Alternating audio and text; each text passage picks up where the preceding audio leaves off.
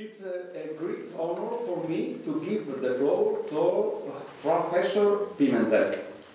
David Pimentel is a professor of ecology and agricultural sciences at Cornell University. He is one of the most important pesticides experts in the world. His research spans the fields of energy, population ecology, biological pest control, pesticide, sustainable agriculture, land and water conservation, livestock and environment policy. Pimentel has published uh, 700 scientific, scientific papers and 37 books and has served one many national and government committees. Professor Pimentel.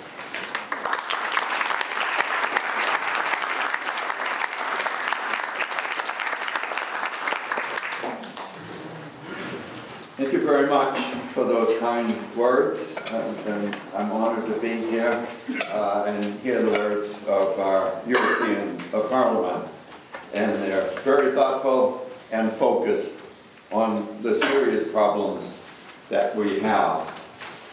And I'm indeed honored to be here and uh, to give you my uh, personal uh, view. And I hope to keep this to uh, about uh, 30 minutes and then have a few minutes for questions uh, afterwards. In any case, I put the first slide on because it's our a prime problem if I, in the world, and that is that we have way too many people for the resources that we have available. And now if I can poke the right, uh, which, which button do I push? This is not my, oh, here we go. That one, all right, very good, well you push, good. And that too. we got several controls. uh, anyway, I didn't know Rachel Carson personally, but uh, have, uh, I was a graduate student at her uh, time, but certainly uh, respected her and defended her uh, personal views. She was intensely attacked by the pro-pesticide uh, contingent, and actually, uh, I should say, I have sprayed probably more pesticides than uh, anyone else in this audience, and I have DDT, Dieldrin, Aldrin, and so forth in my uh, blood and what have, what have your resources. However, uh, I still defend pesticides, but I also uh, feel that we can do a better job. And, and, and my personal view is that we could reduce pesticides, certainly in the US and world, by 50%, and still provide the type of control uh, that we need. I myself uh, have sprayed pesticides, and I actually developed a technique or technology uh, relative to uh, pest control, houseflies in particular, where we were able to reduce the quantity of pesticide being used by over a thousand-fold, and I could give you uh, that information uh, if you're interested, but that's history. Now, there, that, that one works.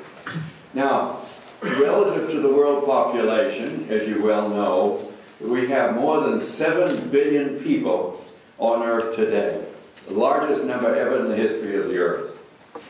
And we also have uh, the largest number of malnourished people in the world.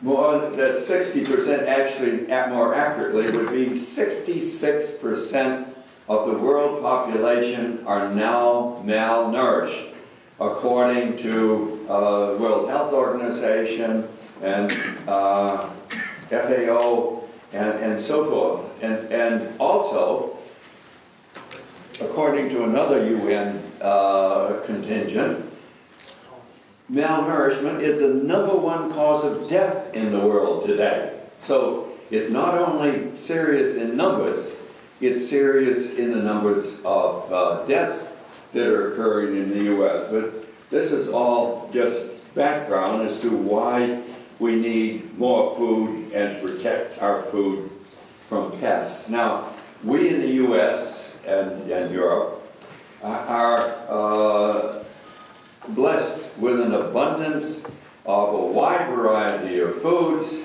and an abundance of foods, uh, which is ideal.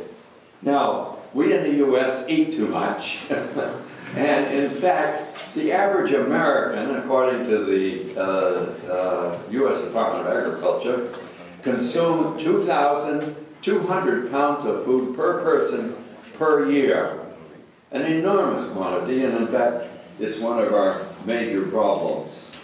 Now then, to turn uh, just briefly to uh, some of our pest problems. Uh, in the pests, insects, uh, rodents, uh, and we do apply large quantities of pesticides by aircraft, and we ought to be reducing that uh, quantity. In fact, we've been moving toward, uh, I'm sure most of you know, ultra-low volume uh, uh, application with aircraft. And this is resulting, and when you apply pesticides by ultra-low volume uh, application technology, only 25%, and I want to emphasize that, less than 25% of what you apply actually gets into the target area. I see a gentleman agreeing with me. this is a serious problem. Before, when we were applying pesticides by aircraft, well, we still do some. But when you're use, not using ultra low volumes, you can uh, get 75% at least uh, getting into the target area. It still can, 25% does go off into the environment. Anyway, world pesticide use, we're currently uh, uh, applying 6 billion pounds, or over uh, about 4 uh, billion kilograms per year, at an expense of $45 billion annually, an enormous amount of money. Now, uh, despite the use of all of that pesticide, uh, 6 billion pounds uh, applied annually, we're still the various pests, uh, insects, diseases, and weeds are still causing uh, the loss of 40% of our food worldwide uh, to pests. And then once we harvest that food, another group of pests take uh, 25% in, in some places up to, of course, uh, larger quantities than that. So that despite the use of all the pesticides, both pre-harvest and post-harvest, uh, pests are taking more than half of our food worldwide, according to the uh, United Nations. And then we have the problem of uh, pesticide contamination. In the U.S., 95% uh, of our food has measurable levels of, of pesticides. And 5% have uh, levels that are above or, or, above the acceptable level. So we have uh, real problems, and, and, and all of this above the tolerance, that means actually we are eating that food. It's not that we're catching it and removing it, we're actually eating that food that has uh, fruits and vegetables with higher uh, tolerance levels. Now, as far as uh, po human poisonings go, worldwide the uh, uh, re report is that 26 million people are poisoned each year in the world. And from that 26 uh, million people, there are 220,000 deaths. And most of these, uh, I'm giving you a slight biased opinion, but occur in the developing uh, world. uh, where they do not have uh, suitable regulations and also do not use pesticides in the way that they should, although I say we have problems in the U.S. And then in the U.S., you see, we have 300,000 non-fatal pesticide poisonings each year in the U.S. And we're supposed to know what we are doing and how uh, pesticides should be utilized. So we have a very, uh, in my view, a very serious uh, problem. Now, uh, Rachel Carson was actually instrumental in uh, encouraging me to uh, uh, try to do something about the pesticide problem. And in fact, even as a graduate student, I was able to develop a system of housefly control where it required less than one thousandth the quantity of pesticides that were being used in dairy barns before I got involved. And in fact, my technique was uh, patented by Shell Chemical and other companies, and I never received one penny for my uh, particular development. Well, that's what happens when you're a graduate student. Now, relative to the use of pesticides uh, in the U.S., corn and soybeans are the two major crops receiving uh, pesticides. In fact, a total of 310 billion kilograms uh, uh, is being utilized. Now, we, when I say we, it was a group of uh, investigators at Rodale uh, in, uh, there in Pennsylvania, and we looked at uh, utilizing, uh, it was referred to as organic technology, but really we were focused on trying to reduce uh, pesticide use, improve and reduce soil erosion, and, and so forth, and uh, which was extremely important. And so we were able to reduce insecticides and herbicide use in corn and soybeans that use the largest quantity of uh, herbicides and insecticides in the U.S. to zero.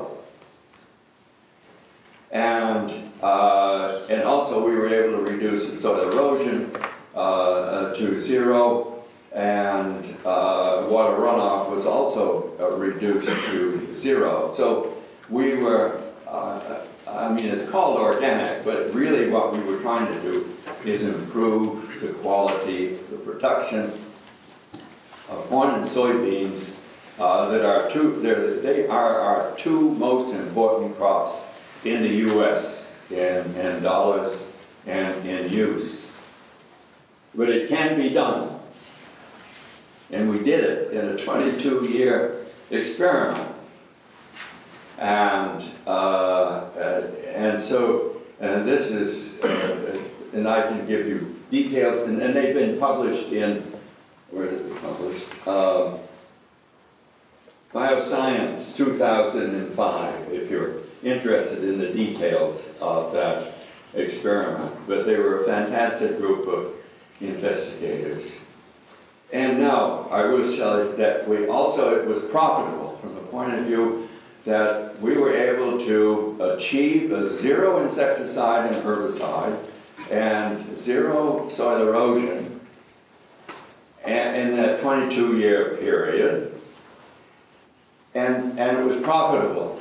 We were 30% profitable. Now, it did take extra labor, as I've indicated here, 35% more labor.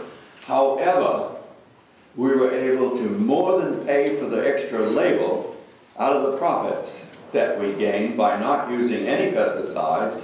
Oh, and I should, and I didn't tell you, uh, we also used no uh, nitrogen fertilizer, zero. And we were able to achieve our, our needs of, of uh, nitrogen fertilizer by planting a vetch, which is a legume after we harvested the corn after each year and after we harvested the, uh, well, the soybeans. And also, we had both crops in, in rotations, and that helped uh, uh, in, in great detail related to our pest problems and, and also, uh, in the cover crop in particular, aided in reducing soil erosion. Things can be done and still make a, make a profit. Uh, now, well, I've already said all that. and and the question would, uh, would be, why are we using pesticides on corn and soybeans, well, actually nationwide, uh, on so many crops? And truthfully, I can't uh, uh, really answer that from my own perspective, other than that these people are making a profit and they are contaminating our environment. And those are the two crops that are using more pesticide, that's insecticides and herbicides, than any other crops in the nation. Uh, more than, uh, uh, well, apples and oranges and so forth.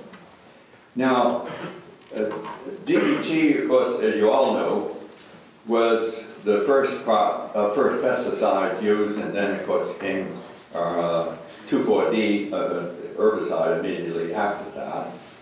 And then we had DDT resistance by 1950 uh, in the U.S., probably uh, Europe, and then finally we it took us, I think, 10 or 15 years after uh, Europe banned uh, DDT and certainly after Sweden. Now, we do have, of course, major impacts on, that's another uh, one of my concerns, is the environmental impact of pesticides, and we published, uh, it's a blackbird, and the other was osprey, uh, many papers in, on the subject of the environmental impact of uh, pesticides. And now, we also have looked at uh, herbicides because well, they're the number one, I think it's also true in Europe, but at least in the US, it's the number one uh, use of a, a, pesticide. And graduate students and mine uh, uh, looked at what impact herbicides have on the other organisms that we're dealing with, such as the pests. And you'll see, uh, we found that the U.S., which is from Europe, our corn borer, least that's where we believe we got where, our, where we got our corn borer. Uh, and we found that the corn borer grew 33% larger when feeding on corn, for example, corn leaves, uh, than uh, regular corn borers. And of course, they produce 33% more eggs than corn borers that are feeding on corn untreated with herbicides. And uh, corn leaf aphids were more abundant. There are other uh, impacts, and we did publish that in Science, uh, and uh, it still didn't stop what we were doing in the U.S. Then corn smut disease, just to show that it's not only insects that were responding to the uh, 2,4-D, the herbicide, is that uh, corn smut disease uh, increased fivefold. And also corn that had normally resistant to the southern corn uh, disease uh, lost that resistance. So although we were using herbicide to control weeds, nobody was looking at what impact it was having on insects, what impact it was having on its diseases, and so forth. And this, we were hoping, would encourage other pest control specialists to not only look at what pests they're trying to control, but what side effects these pesticides are having on other pests that they're trying to control. Now, I'm not going to generalize and say this occurs in all herbicides that are utilized, but uh, we looked at others and we did find uh, some positive effect, if you want to call that, uh, in uh, relative the impact of herbicides. Course our uh, insect parasites, beneficial ones, this happens to be a tachinid fly, and those white things you see are, are eggs on the side of the caterpillar, and they do play a, a very important role in pest control along with the ladybird such as you see, or coccinellid beetle. And then this is a, an aphid lion feeding on, on aphids. And our parasites and predators play a very important role in pest control in the U.S., uh, despite the use of large quantities of pesticides. And in fact, they're probably causing uh, a reduction in pest and beneficial effects of our pest control uh, because of the reduction in natural enemies. And we've got this, if you're interested in, in uh, the negative impacts of using pesticides in our environment, including benefits of natural enemies, we published a paper, I've forgotten what year and where it was, but there is such a thing. I can't keep, keep track of all my publications and where they are and the timing of them. Uh, anyway, uh, oh, here's some data here on cotton, for example. natural enemies killed uh, with uh, uh, some of our insecticides, $200 million. Other crops, 300 million. and total benefit, lost benefits, $500 million due to the loss of our natural enemies. And uh, then to turn to the issue of uh, uh, reducing pesticides, and one of my past students, uh, Dr. Oka, who is a, very ethical person, and I won't give you the history of how, well, I'd be happy to give it to you, but uh, how he got to be appointed uh, head of all pest control for Indonesia. And just to show you that you, they play for all the marbles in Indonesia, uh, he had to have bodyguards appointed by the government for him and his family when he made the decision to reduce, I remember one initial decision, and in fact the president of Indonesia went on television and reported, I think it was 57 pesticides were banned. Uh, they didn't ban all of them, but they did ban 57 that were causing the most problems. And you could see why uh, they had to provide him and his family with uh, bodyguards. They play for all the marbles there in Indonesia. I've been attacked in, uh, in uh, New York and uh, the U.S. from my position, but I've not had to have, fortunately, any bodyguards. Well, they did try to get me fired, I will say. Uh, that's, that's a significant impact. Now, uh, natural enemies do provide, depending on the crop, of course, the 50 to 90% control of pests. And then uh, worldwide, of course, pesticide resistance, as you well know, is an extremely important problem. And I know that it increased probably since I've re uh, reported of these of over 520 insect and mite species worldwide, uh, 200 weed species, and 150 plant pathogens is what we know. And the cost of resistance in the U.S. is over uh, a billion dollars a year.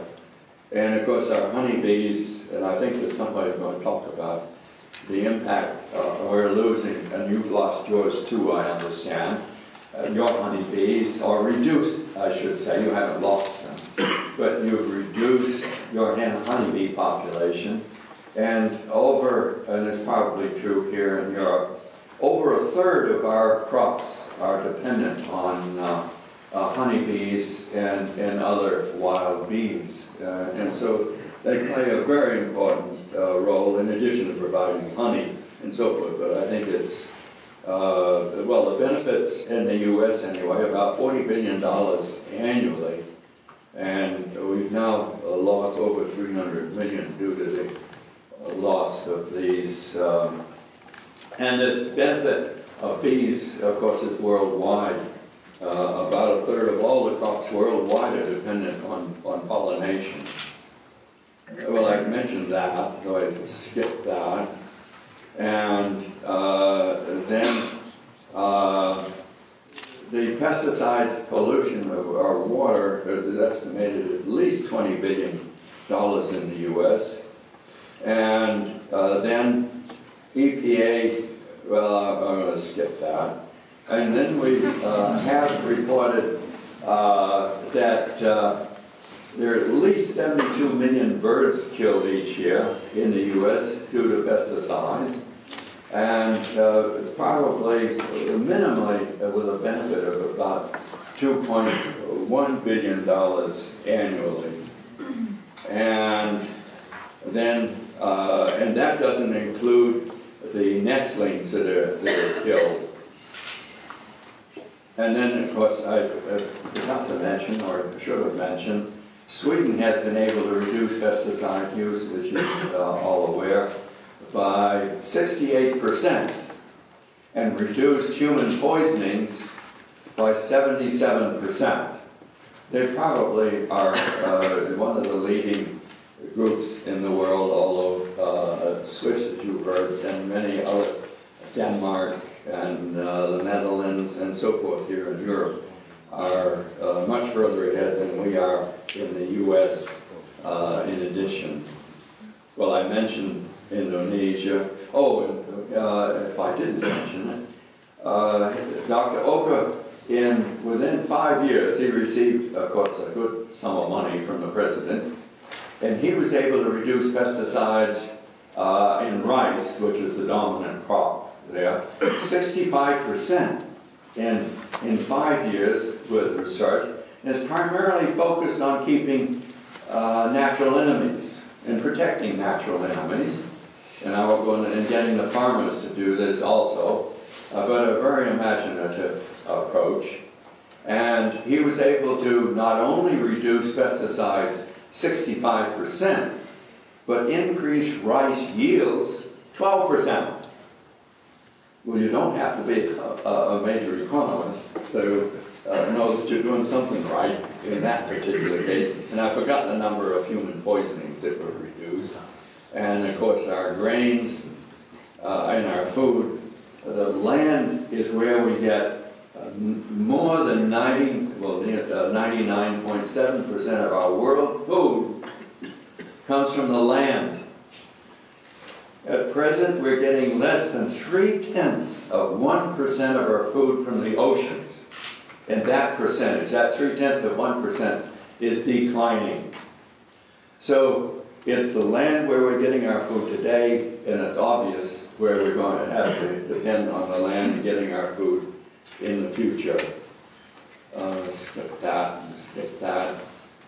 Um, I'll skip that. And then I wanted wanted to tell you how important water is uh, uh, to us, and it does relate also to pesticides. Uh, but water use just in, in corn in the U.S., uh, it takes over 6 billion liters to produce uh, corn per, on a per hectare basis.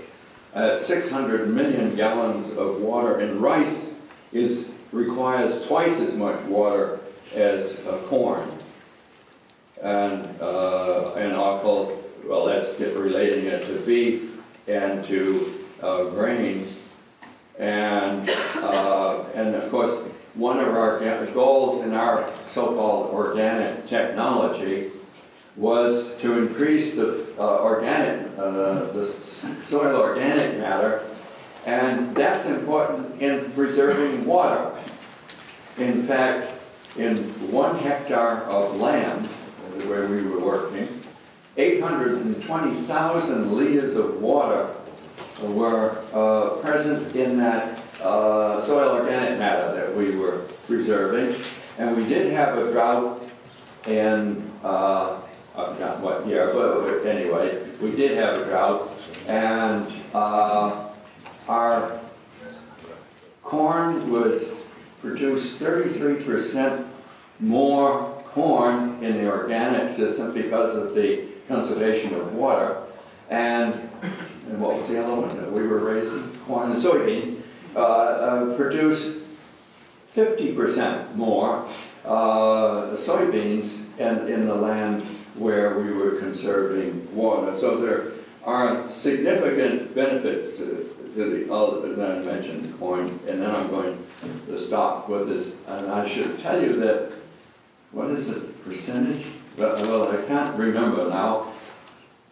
Uh, how many, this is a, the mongoose in case you're, uh, you're interested, and I did work with this animal on sugarcane in the West Indian Islands. And it's an, an introduced species. It was introduced for rat control in the West Indian Islands, and it's also become a serious pest uh, in the West Indian Islands, including Puerto Rico and so forth. And I was trying to remember, it's 50, yeah, that's right, uh, all these numbers. Anyway, 50,000 species in the U.S. are invasive or introduced. And I think the percentage is somewhere around 20 or 30 percent of our pests are uh, introduced species. So, and, and this is, of course, related to our use of uh, large quantities of pesticides as well as, of course, natural control that we utilize. And, uh, and I did tell the uh, people I would spend, uh, what, 10 or 15 minutes answering questions. Well, I could go longer if you need it. But anyway, thank you all for listening.